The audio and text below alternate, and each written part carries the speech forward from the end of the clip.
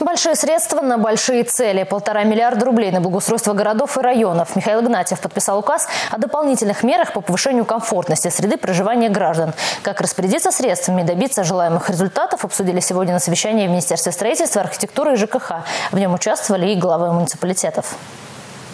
Шаг за шагом осваивать средства необходимо оперативно и эффективно. Ориентиры уже намечены. У нас разработано порядка, наверное, 36 а, площадок вот на сегодняшний день, но где-то в течение двух недель порядка будет, ну, там, наверное, под 50 площадок будет.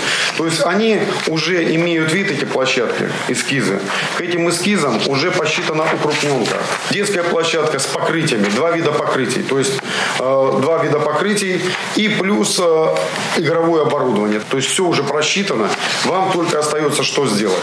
А, проинвентаризировать дворы, посмотреть, э, как вы будете привязывать с учетом существующих сетей. Каждый объект должен пройти экспертизу. Итогом станет проектно-сметная документация, в которой будут учтены все нюансы будущей работы. Принцип «семь раз отмерь» поможет избежать ошибок. Посмотреть, э, как вы будете привязывать с учетом существующих сетей, чтобы мы сделали площадку, и потом через два года мы будем ремонтировать с вами сети. То есть этого не должно быть. Благоустроенные зоны отдыха, новые экопарковки, светлые улицы, уютные и красивые дворы. Плюс современные детские площадки с покрытием, игровым и спортивным оборудованием. Как и куда направлять средства, определит комиссия на месте. Проекты отберут, исходя из особенностей дворов, учитывая перечень элементов благоустройства и максимальной стоимости работ, отметил Алексей Грищенко. И здесь чиновники очень рассчитывают на неравнодушных граждан.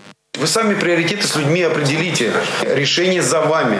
Сделать как? Еще раз говорю, это с людьми нужно обсуждать. Работа будет проводиться поэтапно. До 1 февраля 2020 года все проекты должны быть согласованы с главным архитектором. До 1 апреля уже заключены контракты. Наталья Мальчикова, Валерий Резюков. Республика.